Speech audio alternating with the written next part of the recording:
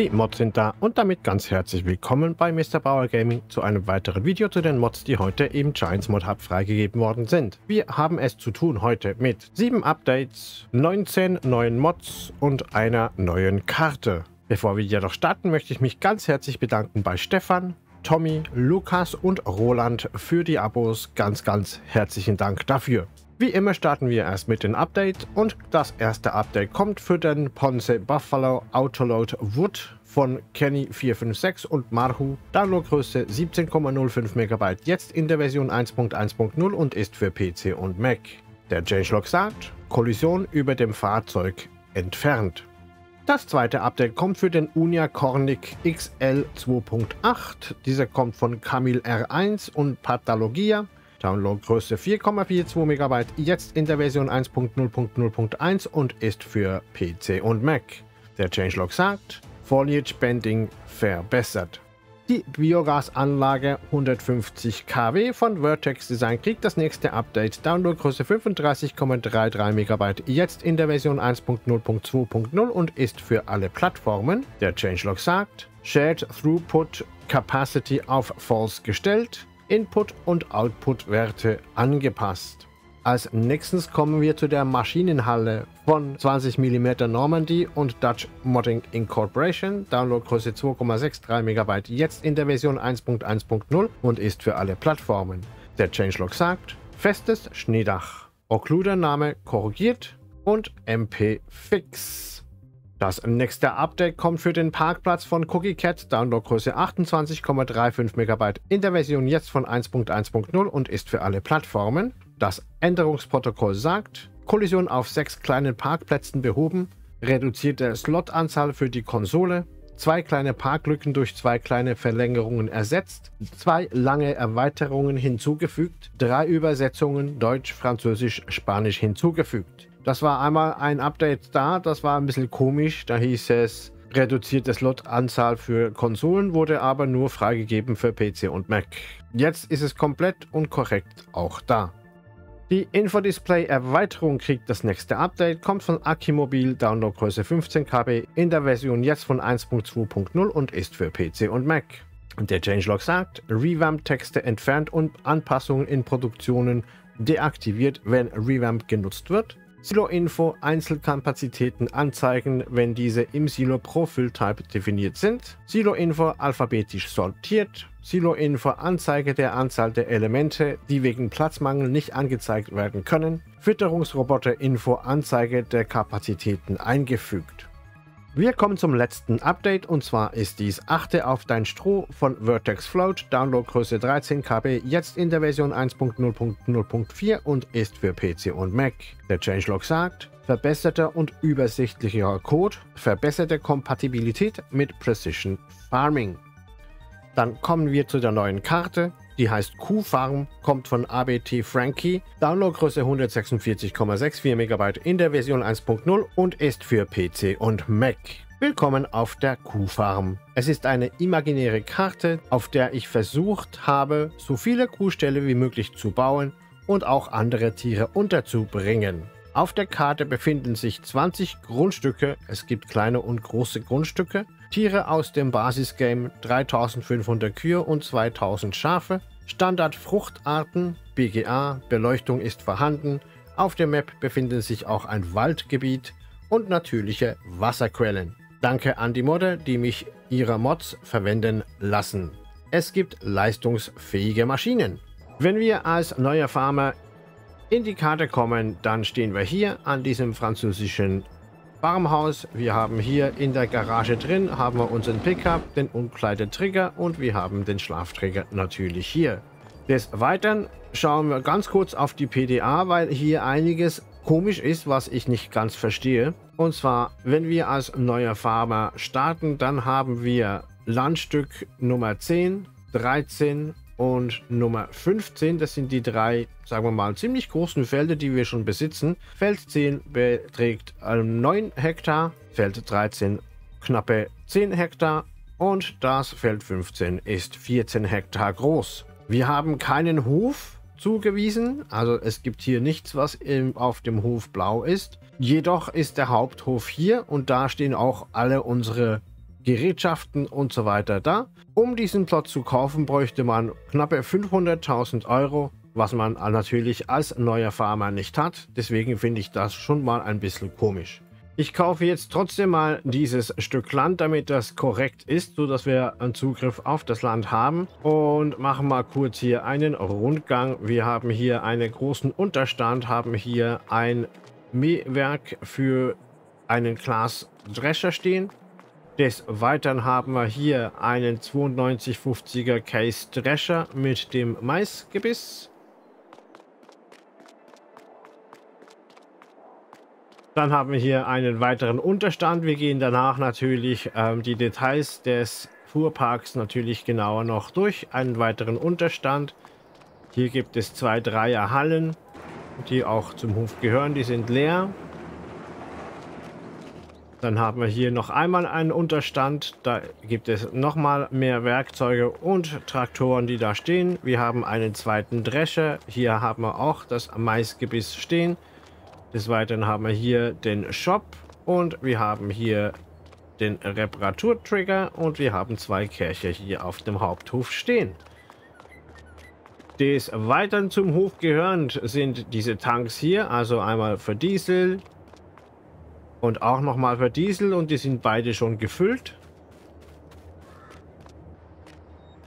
Des Weiteren haben wir hier ein normales Schneidwerk für den Drescher. Hier haben wir einen Underbelly-Anhänger mit zwei, drei Kammern. Dann haben wir hier noch einen Mack Truck. Einen kleinen Unterstand haben wir hier auch. Hier drüben haben wir auch noch mal zwei Unterstände.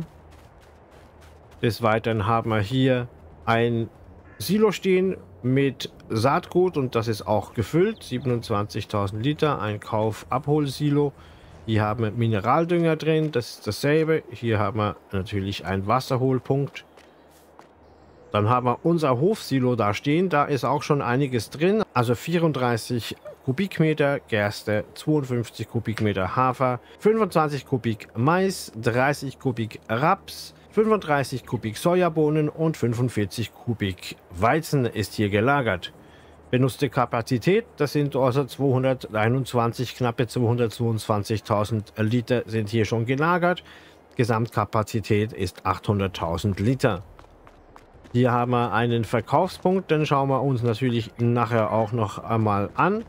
Hier haben wir noch einen weiteren Unterstand. Der Aussaagkalender ist der Standardkalender hat keine Zusatzfrüchte. Der Fuhrpark ist ziemlich üppig, den wir bekommen. Und zwar haben wir bei den Großtraktoren drei Traktoren, äh, die zum Hof gehören. Den 39er Terra Truck, den Fendt 1038 und den Magnum 340 CVX Drive. Das sind die drei Großtraktoren, die zum Hof gehören. Also nicht schlecht. Wir haben den Mack den haben wir schon gesehen. Dann haben wir die zwei Mähdrescher, einmal einen Lexion 8900 und einen Case IH Axial Flow 9250, den haben wir auch schon gesehen. Des Weiteren haben wir einen Vertimix von äh, Strautmann, den äh, sehen wir uns nachher an. Dann haben wir natürlich unseren Pickup, wir haben den Anhänger, und zwar den Triple Hopper und wir haben einmal noch einen Agroliner MOK 303. Natürlich haben wir Schneidwerke, haben wir ähm, das Terraflex 45 Fuß für Case und dann das Convioflex für den Class Drescher. Maisbrücke haben wir auch jeweils ein Maisgebiss da. Wir haben einen Steinsammler, wir haben eine Scheibenecke, einen Tiefenlockerer, eine Seetechnik, also eine Seemaschine. Und zwar ist das eine Direktsaatmaschine und wir haben einen Kalkstreuer, wie auch ein Transportwagen für das Schneidewerk. Also ziemlich gut ausgerüstet sind wir schon. Auch wenn auf der PDA angezeigt wird, dass wir kein weiteres Land besitzen, haben wir im Tiermenü schon ersichtlich, dass wir beim Schafstall groß schon 2000 Schafe haben. Die sind voll gefüttert hier, die haben alles da, was sie brauchen. Des Weiteren sehen wir beim Kuhstall groß, dass wir auch 2000 Kühe schon da haben. Da ist noch etwas Stroh da, da ist auch etwas Futter da. Das heißt, wir haben da ein bisschen Zeit, aber ich sage euch, 2000 Kühe konsumieren eine Riesenmenge an Mischration. Deswegen müsste man hier sofort starten mit der Produktion des Mischfutters. Daher komme ich wirklich nicht ganz klar. Die Tiergehege gehören zu dem Hof äh, dazu, aber es gehört nicht zu unserem Land. Ich würde mal sagen, wir gehen jetzt einfach mal zum Kuhstall hoch, damit wir sehen, wie der ausschaut und wie das ausgeht hier. So, ich habe mich hochgebeamt, ganz kurz. Hier haben wir den Milchtank. Hier haben wir einen Unterstand, hier haben wir ein großes Keilsilo, wo man äh, dann natürlich auch entsprechend äh, Silage erstellen kann. Wir haben einen Misthaufen hier, der ist leer, 4 Millionen Liter. Hier haben wir die Düngegrube, die natürlich auch, auch entsprechend zu benutzen ist. Das ist ein Wassertank, den brauchen wir aber nicht befüllen. Das ist, wird automatisch gemacht. Und hier haben wir diesen Kuhstall. Und ihr könnt sehen, der ist nicht groß, sondern das folgende. Also extrem, extrem gigantisch. Hier haben wir auch den selbstfahrenden Futtermischer. Das ist dieser Strautmann hier, den haben wir vorhin gesehen gehabt. Und das Tiermenü verrät uns, dass hier insgesamt 3500 Kühe reinpassen und 2000 sind schon drin. Zweimal Fleischkühe und zweimal Milchkuh. Also wenn man das Stück Land hier kauft, dann hat man Zugriff auf die ganze Grasfläche hier. Ich habe allerdings noch keinen Weg gefunden, wie ich hier reinkomme auf dieses Gelände hier. Dieses Gelände ist frei zugänglich, das ist kein Problem. Gehen wir mal ein bisschen weiter nach drüben, weil da drüben ist nämlich unser Schafstall und da haben wir ja auch schon etwas an Tieren, die zum Hof gehören. Und zwar haben wir hier, wie gesagt, die 2000 Schafe. Also der ist Vollbestand, da könnte man eventuell ein bisschen Platz schaffen, wenn man Jungtiere haben möchte. Hier hat man natürlich Zugriff auf das Land, das ist klar. Und hier gibt es natürlich auch eine riesengroße Fläche zum mähen. Also hier kann man einiges runterholen, kann man auch brauchen für die Kühe. Da hat man also einiges an Arbeit hier. Wir schauen mal an, welche Produktionen verbaut sind und wir sehen, wir haben zwei Produktionsstätte, die verbaut sind. Das eine ist das Sägewerk und zum anderen ist es die Verkaufsstelle für Wolle. Ladestationen haben wir natürlich auch. Das sind vor allem die vom unserem Hof. Das sind die Silos, die wir schon gesehen haben. Dann haben wir hier den Misthaufen, der hier zu erkennen ist. Dann haben wir Abladestationen, wo wir Sachen verkaufen können. Und zwar haben wir die östliche Getreidemühle. Dann haben wir den Ballenverkauf, den Hofladen, der nimmt quasi alles an. Die Getreidemühle ist ein Verkaufspunkt, unser Silo. Hier unten ist der Ballenverkauf und noch die südliche Getreidemühle. Des Weiteren haben wir auch hier natürlich den Fahrzeughändler, der ist direkt am Hof, das Farmhaus und hier haben wir den Viehhandel. Wir schauen uns kurz den Verkaufskatalog an und wir können also tatsächlich feststellen, dass es eigentlich für alles Verkaufspunkte gibt. Wir gehen kurz auf einen kleinen, ganz kurzen Rundflug, weil viel gibt es wirklich nicht zu sehen hier. Hier gibt es ein Forstgebiet, aber das wird schwierig werden hier mit der Forstwirtschaft. Das sind nicht die ähm, guten Bäume für die Forstwirtschaft. Das ist hier ziemlich schwierig. Hier unten haben wir eine BGA. Wir haben das Sägewerk und verschiedene andere Punkte auch hier. Das ist dann wahrscheinlich eher das Forstgebiet, was mehr Spaß macht.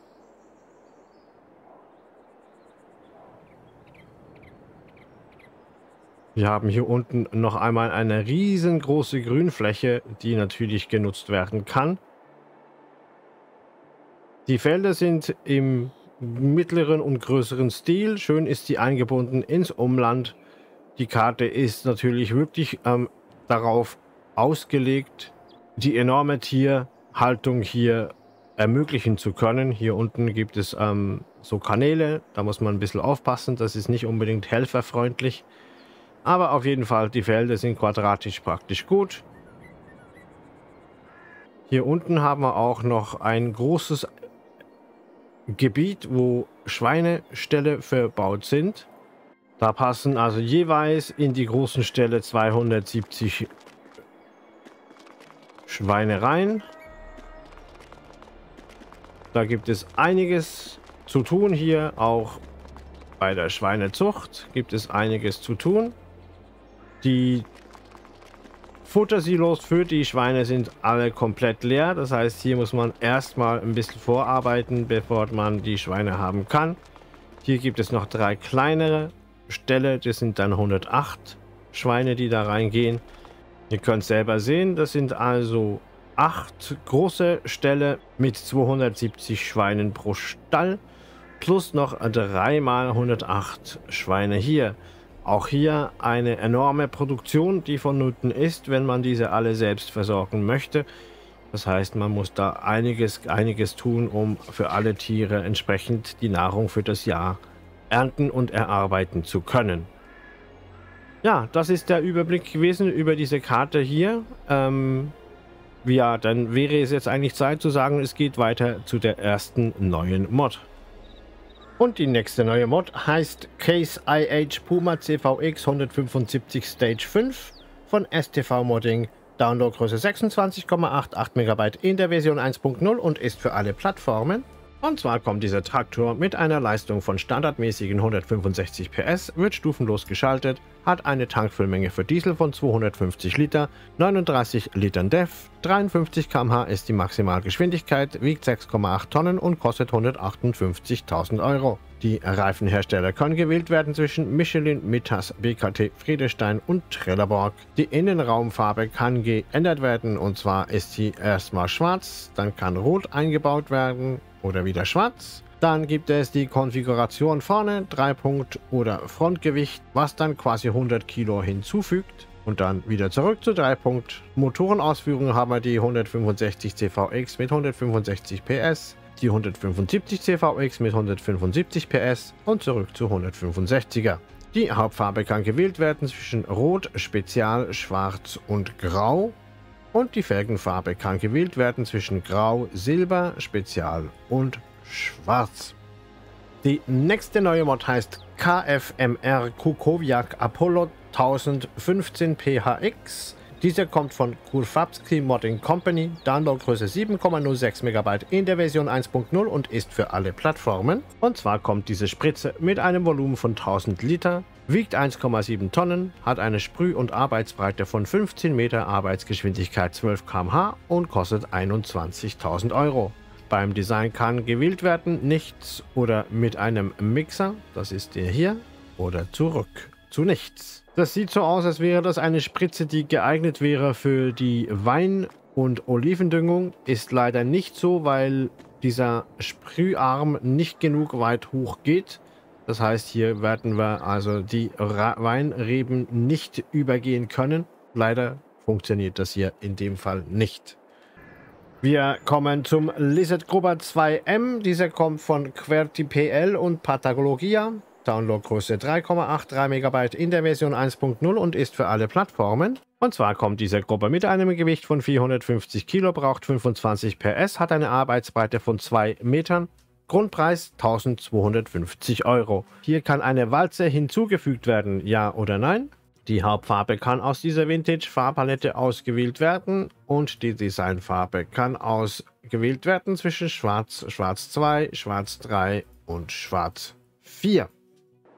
Wir kommen zu der Wama Palettengabel. Diese kommt von Anti, Downloadgröße 0,93 MB in der Version 1.0 und ist für PC und Mac. Und zwar kommt diese Palettengabel mit einem Gewicht von 100 Kilo und kostet 1700 Euro. Dies ist gedacht natürlich, um an einen Frontlader angebaut zu werden. Die nächste neue Mod heißt Deutzfahr TTV 7 Series, kommt von STV Modding, Downloadgröße 15,26 MB in der Version 1.0 und ist für alle Plattformen. Und zwar kommt dieser Traktor mit der standardmäßigen Leistung von 224 PS, hat eine Tankfüllmenge für Diesel von 535 Litern, 87 Litern DEF, 63 km/h ist die Maximalgeschwindigkeit, wiegt 8,6 Tonnen und kostet 182.000 Euro. Die Reifenhersteller können gewählt werden zwischen Michelin Continental Mittas, BKT Friedestein und Trelleborg. Die Hauptfarbe kann gewählt werden zwischen Standard Chrom, das betrifft dann hier diese Lüftungsschlitze hier, dann das Auspuffrohr und auch der Innenraum wird geändert. Und dann gibt es noch die Gold-Version. Beim Design kann gewählt werden zwischen LED 1, 2 und Standard.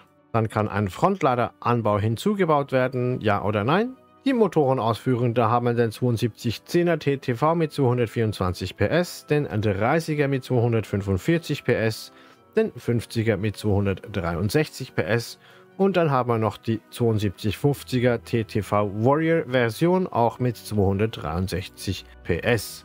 Die Hauptfarbe kann gewählt werden aus Grün, Schwarz und Grau und die Felgenfarbe kann gewählt werden zwischen Grau, Spezial, Silber und Schwarz. Ich finde, dieser Traktor klingt richtig gut.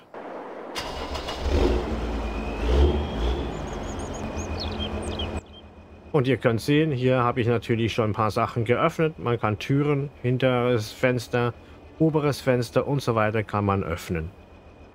Wir kommen zum Los Antonios SR7240 Flug von JM Garcia, Downloadgröße 13,96 MB in der Version 1.0 und ist für PC und Mac.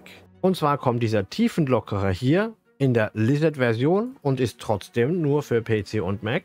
Das scheint mir ein bisschen komisch zu sein. Wiegt 2,4 Tonnen, braucht 280 PS, hat eine Arbeitsbreite von 3 Metern, Arbeitsgeschwindigkeit 13 km/h und kostet 10.000 Euro. Der Rollentyp kann geändert werden zwischen doppelter Walze, Kombirolle, Stachelwalze, Winkelwalze und zurück zur doppelten Walze. Wir kommen zur Lizard S041 Querstrich 3 Gamma 5. Dieser kommt von Heistel Mods und Pisser. Downloadgröße 10,29 MB in der Version 1.0 und ist für alle Plattformen. Und zwar kommt diese Einzelkorn-Seemaschine mit einem Volumen von 240 Liter für Saatgut, wiegt 955 Kilo, braucht 40 PS, hat eine Arbeitsbreite von 2,7 Meter, Arbeitsgeschwindigkeit 15 km/h und kostet 4500 Euro. Hier können Abdeckungen entfernt werden und zwar dieser um die Ketten rum, ja entweder entfernt oder hinzugefügt. Die Hauptfarbe kann gewählt werden aus dieser Farbpalette hier und die Designfarbe kann ausgewählt werden zwischen Weiß, Gelb, Gelb 2 und Gelb 3. Wir kommen zum MMS White Bumper FH. Dieser kommt von Lauser Play Greenland Farming, Downloadgröße 4,1 MB in der Version 1.0 und ist für PC und Mac. Und zwar kommt dieser Weight Bumper mit einem Gewicht von 300 Kilo und kostet 1700 Euro. Das Design kann geändert werden von 0 Kilo auf 250 Kilo, 250 Kilo 2, 500, Anhängerkupplung kann hier natürlich hinzugebaut werden, ja oder nein. Die Hauptfarbe kann gewählt werden aus der Standardpalette und die Designfarbe natürlich ebenso. Wir kommen zum Saatgut-Add-on von Didymod Passion. Downloadgröße 2,07 MB in der Version 1.0 und ist für alle Plattformen. Dieser Mod fügt hinzu, dass es für die einzelnen Fruchtarten auch entsprechende Saatgutoptionen gibt. Einmal Gerste-Saatgut, Raps-Saatgut, Baumwollsaatgut, Gras-Saatgut, Mais-Saatgut, Hafer, Ölrettich, Sorghum, Sojabohnen, Zuckerrüben, Sonnenblumen und Weizensaatgut. Der Preis ist jeweils für 1000 Liter 900 Euro und kann lediglich von diesen Maschinen verwendet werden, die mit in dem Paket daherkommen. Das sind alle Seemaschinen, die im Grundspiel enthalten sind. Das sind also diese Vanilla Seemaschinen hier, die sind alle, werden davon unterstützt. Bei der Auswahl muss man dann auswählen, was reingefüllt werden soll. Und zwar Mais, Saatgut, Sonnenblumensaatgut und so weiter, je nachdem, was die Seemaschinen aussehen kann. Dazu gibt es auch noch das Saatgut Add-on Zusatzfunktion, ebenfalls von Didi Mod Passion. Downloadgröße 13 KB in der Version 1.0 und ist für PC und Mac. Die Zusatzfunktion beinhaltet hinzugefügte Seed-Änderung nicht erlaubt, das Entladen der Samen mit der gleichen Samen, die in der Seemaschine geladen werden, wurde behoben. Wir kommen zum Wilson Silverstar Vieh-Anhänger. Dieser kommt von Mac Trucker 921, Downloadgröße 4,75 MB in der Version 1.0 und ist für alle Plattformen. Und zwar nimmt dieser Wilson Viehanhänger 36 Stück Kuh, 50 Stück Schwein, 50 Stück Schaf und 12 Stück Pferd. In der Beschreibung steht, dass die Möglichkeit hinzugefügt worden sei, Hühner zu transportieren und dies seien dann 416 Hühner. Dieser Anhänger kommt mit einem Gewicht von 8 Tonnen, kostet 80.000 Euro und die Felgenfarbe kann gewählt werden aus der etwas erweiterten Standardpalette. Wir kommen zum Bison BSZ 110. Dieser kommt von Loki 8.6, Downloadgröße 58,63 MB in der Version 1.0 und ist für PC und Mac.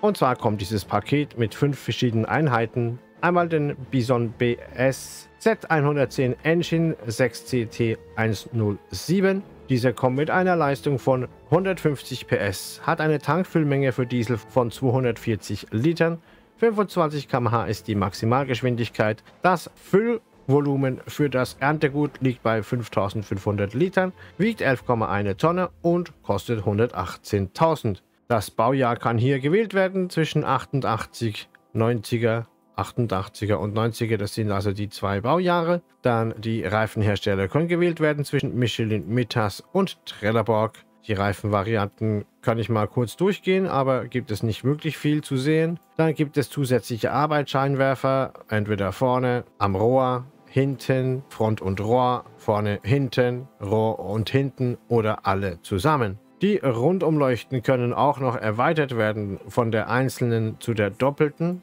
Und die Felgenfarbe kann gewählt werden zwischen Weiß, Grau, Rot und Blau. Dann haben wir den Bison BS Z110 mit der Engine SW680. Dieser kommt mit einer Leistung von 220 PS, hat eine Tankfüllmenge für Diesel von 240 Litern, 25 km/h ist die Maximalgeschwindigkeit, 5500 Liter ist das Füllvolumen für das Erntegut, 11,1 Tonne wiegt dieser Drescher und kostet 128.000 Euro. Auch hier gibt es wieder die Optionen zu den Baujahren. Hier gibt es etwas mehr Optionen. 96er, 98er Version und so weiter und so fort. Dann die Reifenhersteller können gewählt werden zwischen Michelin, Mittas und Trelleborg. Dann gibt es wieder die Arbeitsscheinwerfer, die können verändert werden. Natürlich, das haben wir schon gesehen. Das ist X-Eco mit dem vorhergehenden Modell. Dann gibt es hier den Fahrersitz. Der ist entweder serienmäßig hier so eingebaut oder da kommt der optionale Fahrersitz rein. Dann gibt es den LH Agro Computer, der wird dann hier eingebaut. Das ist dieses ähm, Display hier. Rundumleuchten, wie gesehen, entweder einzeln oder doppelt. Und natürlich auch hier die Felgenfarbe kann gewählt werden aus denselben Farben wie vorhin. Und zu guter Letzt haben wir den Bison BS Z110 mit der Z8604 Motor. Dieser kommt mit einer Leistung von 185 PS hat eine Tankfüllmenge für Diesel von 240 Liter, 25 km/h ist die Maximalgeschwindigkeit. Der Tank für das Erntegut ist bei 5500 Litern und wiegt 11,1 Tonne und kostet 132.000 Euro. Auch hier gibt es wieder ähm, die Einstellung zu den Baujahren. Dann gibt es wieder die Reifenhersteller, die gewählt werden können wie vorhin. Alles andere bleibt sich ex equo wie bei dem vorhergehenden Modell. Deswegen würde ich sagen, gehen wir gleich zu dem nächsten Teil weiter. Und zwar ist das der Bison BSZ 110 Cutter, 4,20 Meter, kommt mit einem Gewicht von 1,3 Tonnen. Arbeitsbreite, wie der Titel sagt, 4,2 Meter. Arbeitsgeschwindigkeit 10 km/h und kostet 21.500 Euro. Und wir haben dann noch den BS Z110 Cutter 5 Meter. Der kommt mit einem Gewicht von 1,4 Tonnen, hat eine Arbeitsbreite von 4 Metern, Arbeitsgeschwindigkeit 8 km/h und der Preis liegt bei 29.375 Euro. Hier gibt es verschiedene Farbkombinationen, die ausgewählt werden können. Ja, viel Spaß damit! Die nächste neue Mod heißt Bienenanhänger. Dieser kommt von Marka, Downloadgröße 4,57 MB in der Version 1.0 und ist für alle Plattformen. Und zwar ist dieser Bienenanhänger zu finden im Baumenü unter Tiere und Bienen. Ist dieser Anhänger hier natürlich Kostenpunkt zum Platzieren 26.000 Euro. Aktionsradius liegt bei 150 Meter und Liter Honig pro Tag liegt bei 155 Litern. Unterhaltskosten pro Tag liegen bei 0 Euro. Wir kommen zum alten Schweinemaststall. Dieser kommt von Rajak, Downloadgröße 7,72 MB in der Version 1.0 und ist für alle Plattformen. Ist zu finden im Baumenü natürlich unter Tiere und Schweine ist dieser Riesenstall hier. Kostenpunkt zum Platzieren 164.000 Euro, Unterhaltskosten pro Tag 150 Euro und Fassungsvermögen für die Schweine liegt bei 200 Tieren. Das ist dieser Stall hier. Natürlich liegt der Futtertrigger hier. Hier wird das Futter eingefüllt und hier gibt es auch noch den Wassertank. Also hier muss natürlich auch entsprechend Wasser eingefüllt werden.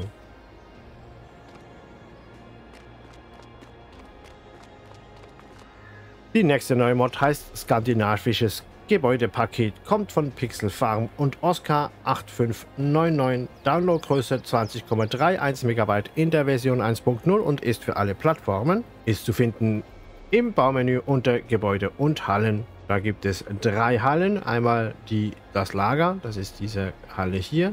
Da gibt es nichts weiteres dazu zu sagen. Dann gibt es diese Halle hier, die kombiniert ist mit einer Waschstation. Und des Weiteren haben wir noch die Muskin Hall, also eine Getreidelagerhalle. Kostenpunkt zum Platzieren liegt zwischen 267.000 und 510.000 Euro. Hier haben wir den ersten Teil dieser großen Halle. Das ist enorm, dieses Gebäude. Hier kann man Licht ein- und ausschalten. Richtig. Sieht richtig schön aus.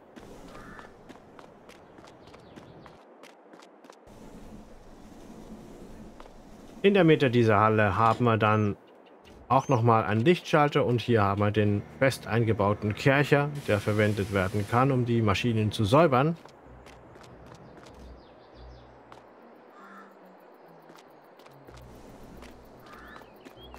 Und dann haben wir hier hinten noch einmal einen Zugang dazu. Das ist dann eine etwas kleinere Halle, die noch dabei ist. Auf jeden Fall ein riesengroßes Gebäude. Die nächste neue Mod heißt Animated Object Erweiterung. Diese kommt von Hot Online Team und Zumbold. Downloadgröße 14 KB in der Version von 1.0.0.1 und ist für PC und Mac. Hier gibt es einen Changelog, Debug, Einträge entfernt. Jedoch, das kommt als neue Mod. Ich bin da ein bisschen verwirrt. Vielleicht kann ja der Modder dazu Stellung beziehen. Und was dieser Mod macht, macht die Tore automatisch. Wenn ich jetzt hier mit dem Traktor hinfahre, öffnen sich die Tore automatisch. Kann den reinfahren, das Tor schließt sich wieder automatisch. Kann dann hier meine Arbeit entrichten und kann dann natürlich auch entsprechend wieder rausfahren, auch wieder mit automatisch bewegten Toren. Dies soll bei allen Toren gelten. Es gibt in der Beschreibung eine Beschreibung, wie man diese Funktion deaktivieren kann. Dann schauen wir mal, ob wir beim nächsten auch gleich das automatisch öffnen können oder ob das jetzt tatsächlich wirklich Zufall war. Doch, geht tatsächlich auch automatisch. Was uns zur nächsten neuen Mod bringt, und zwar ist das der Metallschuppen von Gratius und Philipp, Downloadgröße 6,26 MB in der Version 1.0 und ist für alle Plattformen. Ist dieser Metallschuppen hier, kostet 35.000 Euro zum Platzieren, Unterhaltskosten pro Tag 20 Euro. Wie wir gesehen haben, kann man hier die Tore öffnen dann haben wir hier einen Unterstand, eine kleine Halle. Hier haben wir den Unterstand, etwas größer. Ja, Lichtoption gibt es hier weder innen noch draußen, aber die Textur scheint richtig gut gelungen zu sein. Wir kommen zu der Getreidemühle Plus. Diese kommt von MacTrucker 921, Downloadgröße 3,43 MB in der Version 1.0 und ist für alle Plattformen. Zu finden natürlich im Baumenü unter Produktion und Fabriken ist diese Getreidemühle Plus hier. Kostenpunkt zum Platzieren 96.000 Euro. Und hier kann produziert werden natürlich die Standardrezepte für Mehl. Dazu kommt Mahlzeit mit Getreide und einmal gebrochener Mais. Und zwar ist es wahrscheinlich ein Fehler. Das gebrochene Mais soll wahrscheinlich Schrot, Maisschrot bedeuten. Hier also Mehl, Kornmehl und gebrochener Mais. Was uns zu der letzten neuen Mod führt, und zwar heißt diese Milchtank-Erweiterung, kommt von Nailu, Downloadgröße 0,80 MB in der Version 1.0 und ist für alle Plattformen. Ist zu finden im Baumenü unter Gebäude Und Silo-Erweiterungen ist diese Erweiterung. Hier muss also in der Nähe eines Kuhstalls platziert werden. Fassungsvermögen 10.000 Liter, Kostenpunkt 8.000 Liter zum Platzieren und Unterhaltskosten pro Tag liegen bei 2 Euro. Das war es denn auch schon wieder von den Mods von heute. Ganz, ganz herzlichen Dank fürs Einschalten, fürs dabei sein. Ich hoffe, dir hat das Video gefallen. Falls ja, dann lass doch gerne deinen Daumen da. Falls du keine weiteren Mod-Videos und auch keine anderen Inhalte auf dem Kanal verpassen möchtest, dann hol dir dein kostenfreies Abo ab. Natürlich kannst du auch dein Abo abholen, wenn du den Kanal einfach unterstützen möchtest. Damit möchte ich dieses Mod-Video abschließen. Ich wünsche euch einen wunderschönen Abend. Wir sehen uns morgen am Donnerstag wieder mit den Mods von morgen. Dann sage ich Danke, Tschüss und hasta luego.